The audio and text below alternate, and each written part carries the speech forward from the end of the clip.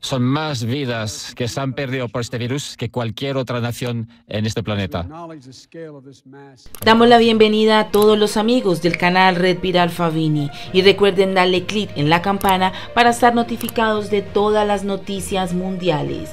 Estados Unidos supera lamentable cifra de medio millón de muertos por COVID-19. Así calificó el presidente Joe Biden la magnitud de la tragedia que este lunes pasado sobrepasó la barrera de las 500.000 víctimas en Estados Unidos.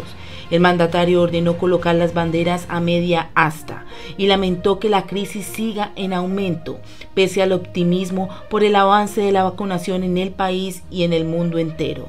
Yo sé lo que se siente, afirmó Biden, en referencia a las numerosas tragedias que ha superado en su vida, en un mensaje solemne en el que pidió a los estadounidenses que permanezcan vigilantes, que mantengan la distancia social, que usen mascarilla y que se vacunen.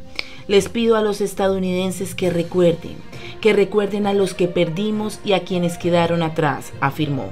Tras el breve discurso, Biden participó en una ceremonia en el jardín de la Casa Blanca, donde se instalaron velas para recordar a los fallecidos junto a su esposa Jill y de la vicepresidenta Kamala Harris, que asistió con su esposo Doug Emhoff. Se guardó un minuto de silencio antes de volver a entrar en la Casa Blanca. Minutos antes, marcando el atardecer, las banderas de todos los edificios federales, incluyendo las embajadas, también se fueron puestas a media asta.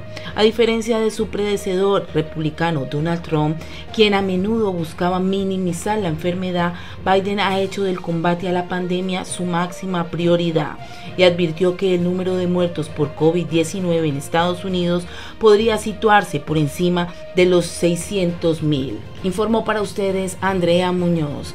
Y recuerden, si les gustó este video, dale like y suscríbanse a nuestro canal Red Viral Favini. Es todo por ahora. Suscríbete en el botón que ves en pantalla y haz clic en la campana gris para estar notificado con toda la actualidad de las mejores noticias en el mundo.